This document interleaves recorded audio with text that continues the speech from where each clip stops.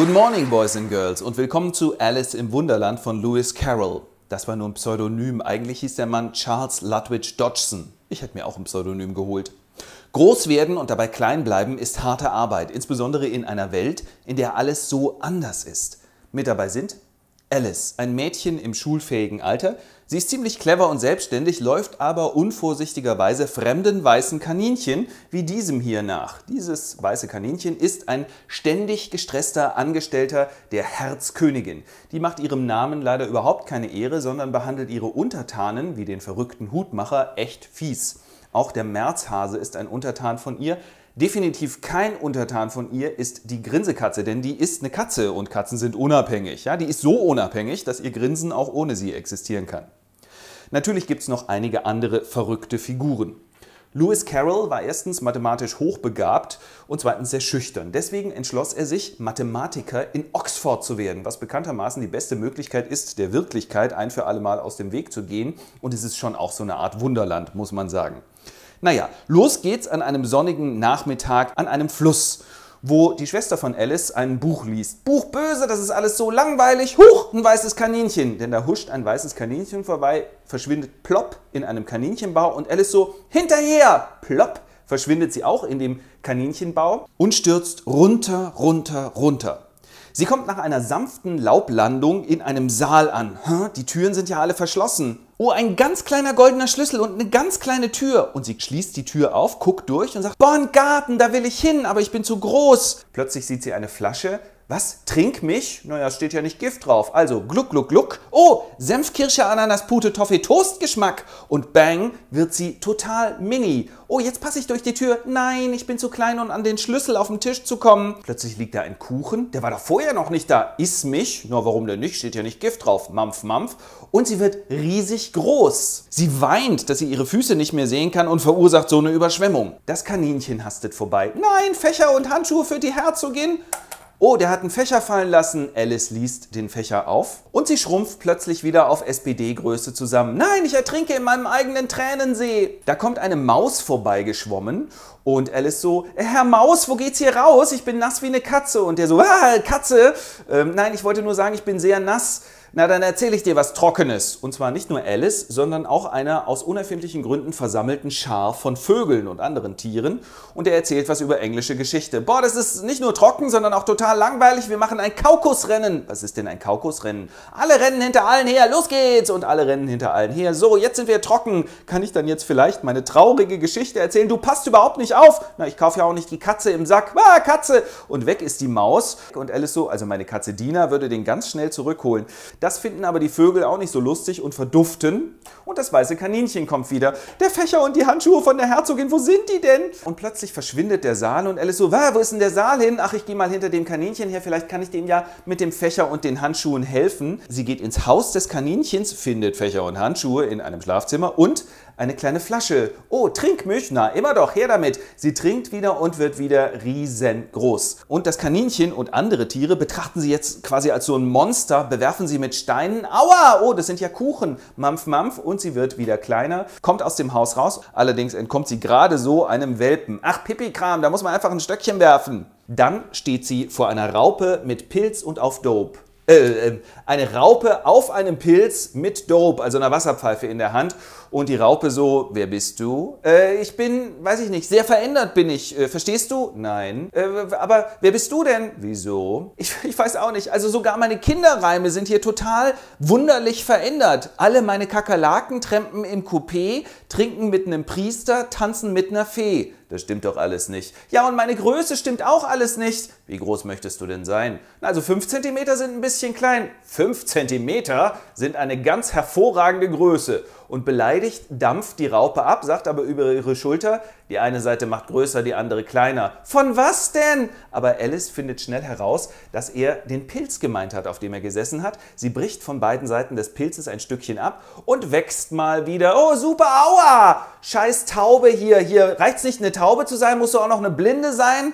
Die hat sie nämlich angegriffen. Dann kommt sie zum Haus der Herzogin, nachdem sie sich wieder ein bisschen klein geschrumpft hat und geht einfach mal in die Küche, wo sie Zeuge einer ungewöhnlichen Szene wird. Eine Köchin ist damit beschäftigt, die Suppe total zu verpfeffern und äh, schmeißt alles mit Pfeffer voll.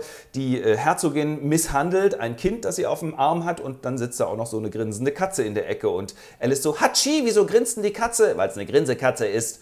Und sie wird Zeuge von häuslicher Gewalt, nämlich völlig unvermittelt wirft die Köchin mit allen möglichen Haushaltsgegenständen nach der Herzogin. Die kann sich gerade noch so äh, wegducken und Alice so, ich nehme das Kind, ich nehme das Kind. Ja super, ich muss sowieso noch Crockett mit der Königin spielen.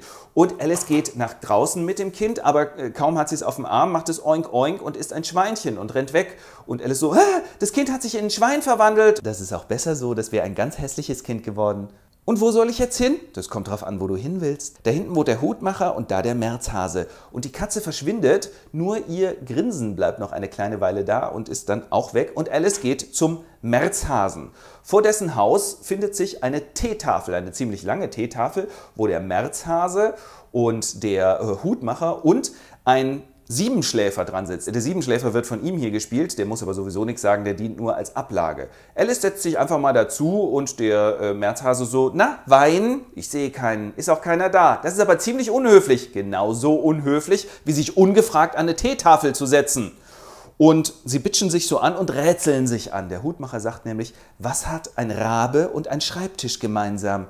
Äh, ich weiß es nicht. Ich auch nicht. Ach komm, du verschwendest die Zeit. Nein, der Zeit verschwendet uns und macht, was er will. Und, und deshalb habt ihr hier immer Tea Time? Genau, verrücken! Und sie verrücken um einen Platz und haben so äh, eine saubere Tasse, also zumindest der Hutmacher. Und, ups, und der Märzhase erzählt eine Geschichte. Es waren einmal drei Schwestern, die lebten auf dem Grunde eines Sirupbrunnens und malten immer nur Dinge mit Hm. Misteln, Musiker, Multikulti. Wieso mit Hm? Wieso nicht? Mächtigen Multikulti-Marmor. Hast du sowas schon mal gesehen? Äh, nein? Dann halt die Klappe. Diese Unhöflichkeit ist zu viel für Alice und sie verlässt die Teegesellschaft und gelangt in den Garten der Königin, wo sie an einen äh, Rosenstrauch kommt, wo weiße Rosen drauf sind und zwei Spielkartensoldaten damit beschäftigt sind, die rot anzumalen. Schnell, wir müssen uns beeilen, nicht, dass die Königin uns... Aber da kommt die Königin und sagt, was ist hier los? Und die so, schluck, Kopf ab! Und die so, nein, werden verhaftet. Und dann wendet sie sich an Alice und sagt, wer bist du denn? Äh, ich bin Alice, äh, Euer Majestät. Kannst du Crockett spielen? Äh, ja, dann los. Das Crockett-Spiel im Garten der Königin ist allerdings ein ganz besonderes. Statt mit Schlägern wird mit Flamingos gespielt und statt mit Bällen mit Igeln. Leider hatten wir keine Playmobil-Igel, deswegen werden die von verkleideten Hasen gespielt hier. Außerdem sind die Tore Spielkartenfiguren, die natürlich ständig beschäftigt sind, weil die Königin immer Kopf ab und dann ist sie weg. Und äh, die Flamingos entwickeln natürlich auch ein ziemliches Eigenleben und auch die Igel haben keine Lust, äh, besonders äh, gestoßen zu werden. Dann kommt die Grinsekatze dazu und sagt, na, wie findest du das Ganze? Also ich weiß nicht, das mit diesem Kopf ab. Du, keine Bange, die haben hier noch nie jemanden hingerichtet. Da kommt der Herzkönig dazu und sagt, i, eine Katze, Schatz, komm mal her. Dann kommt die Königin und sagt, was sie immer sagt, nämlich Kopf ab! Und die Katze wird verhaftet, also sie tun jedenfalls so. Dann kommt der Henker und sagt, also äh, es tut mir leid, denn die Katze ist wieder am Verschwinden und nur der Kopf ist noch übrig. Ich weiß wirklich nicht, wie ich jetzt hier den Kopf vom Körper trennen soll. Und äh, Alice sagt, fragen wir doch mal die Herzogin, der gehört die Katze ja. Die ist im Knast, holt sie. Aber als die Herzogin da ist, ist die Grinsekatze schon wieder verschwunden und damit auch das Interesse der anderen. Und die sagt, Alice, ich bin so froh, dich wiederzusehen. Ah, die Königin und verschwindet. Und die Königin so, hast du eigentlich schon unseren Schildkrötensupperich gesehen? Und Alice so, nein. Und sie geht zum Schildkrötensupperich, der mit seinem Kumpel, einem Greifen, rumhängt. Und das war früher eine Schildkröte, sieht auch noch ein bisschen so aus. Und äh, die fragen so, kennst du das Hummerballett? Äh, und sie so, nein. Und sie erzählen ihr alles über das Hummerballett. Das ist wie Hummer werfen, nur mit Musik. Nein, nicht Hummer werfen. Und du so? Und sie erzählt ihnen die Abenteuer, die sie erlebt hat bisher. Ah, die Fanfare, der Prozess geht los. Denn am Hofe der Königin geht jetzt ein Prozess gegen den Herzbuben los, weil der geklaut hat. Das ist der Herzbube hier. Und das weiße Kaninchen macht den Herold und sagt, die Königin hat Muffins gemacht und dieser hat sie weggeschafft, also geklaut. Geschworene, fällt euer Urteil, Kopf ab. Äh, nein, wir müssen erst noch die Zeugen verhören. Und der König so, na gut, aber dann Kopf ab. Der erste Zeuge ist der verrückte Hutmacher. Und er sagt, ich bin ein armer Mann und äh, Toast ist teuer und der Tee trübe. Was ist trübe? Na, na, na, der Tee. Alles fängt mit dem Tee an. Natürlich fängt trübe mit dem Tee an. Und der Märzhase hat gesagt, habe ich nicht. Hast du wohl? Habe ich nicht. Dummerweise fängt Alice jetzt wieder an zu wachsen, äh, zerstört den Geschworenenstand. Und der König so, äh, alle über eine Meile groß müssen hier verschwinden. Ich bin überhaupt nicht über eine Meile groß, sagt Alice. Und die Königin, doch, sogar zwei. Und alles endet im Chaos. Ja, sie versuchen noch den Herzbuben zu überführen, dann stürzen sich die Spielkarten auf sie und Alice wacht im Schoß ihrer Schwester auf und sagt, boah, ich habe so einen absurden Traum gehabt. Und Alice erzählt ihr von dem Traum und die Schwester schaut sie an und stellt sich vor, wie Alice wohl als Erwachsene sein wird.